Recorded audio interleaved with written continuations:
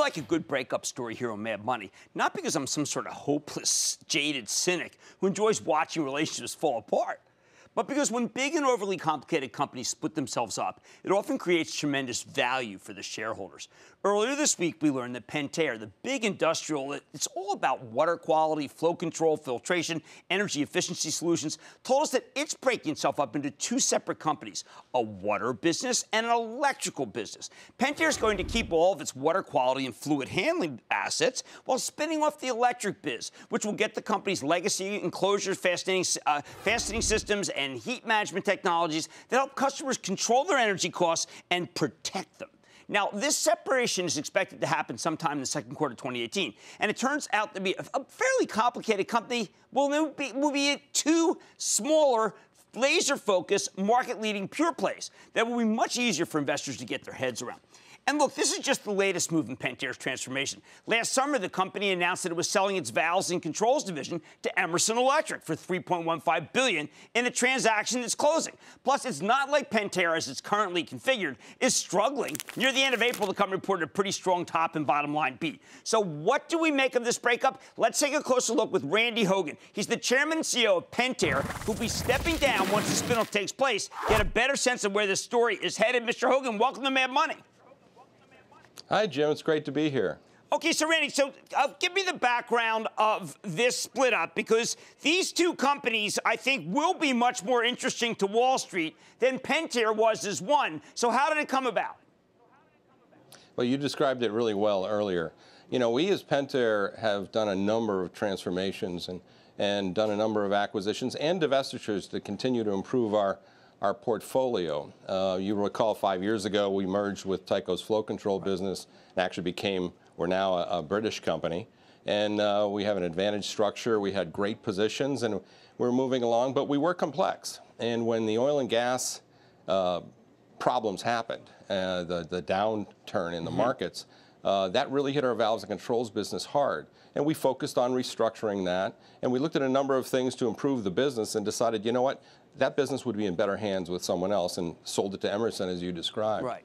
And as, as we went through that process, we realized um, that the complexity and the challenges of oil and gas really left our water business and our electrical business, which are really fine businesses, um, off the playing field in terms of capital allocation. Just the, that was that was the nature of uh, of the impact of the oil and gas downturn. So after we announced the uh, sale of valves and controls, we took a look at, you know, what's our strategy going forward mm-hmm. and what do we do with these two businesses? And as you said, these are not troubled businesses. In fact, our water business is among the leaders and it is one of the most profitable businesses in water. And while uh, our electrical business isn't a large uh, business by competitive standards. It's certainly viable at the size it's at, and it is the most profitable business. They both have prodigious cash flow. Well, and we said these well, two businesses. I want, to talk about the water business because it's going to be fascinating to our viewers. Um, this is a company mm-hmm. that a lot of people are always looking for a company, sir, that reduces the use of water, that recovers water, that reuses right. water. And suddenly you're creating that exact company, right?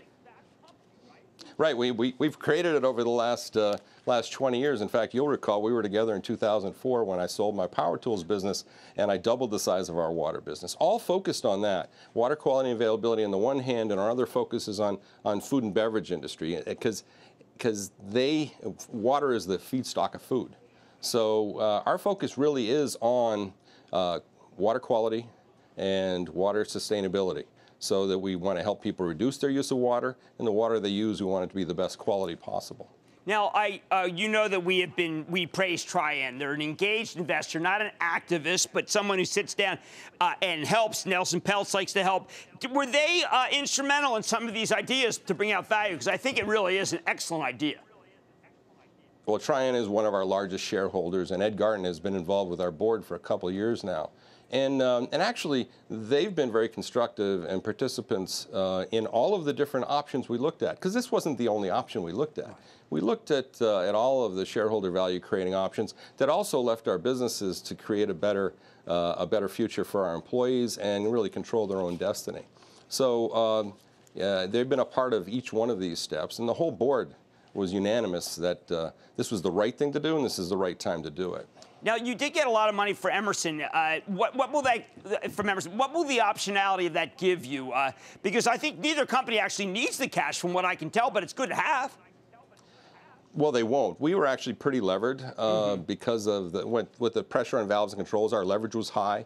We promised the agencies that we would uh, pay down our debt. We're in the process of doing that. We did a tender yesterday. Started a tender to take our debt down. So we're going to be launching both of these companies with extraordinarily strong balance sheets and, and low leverage.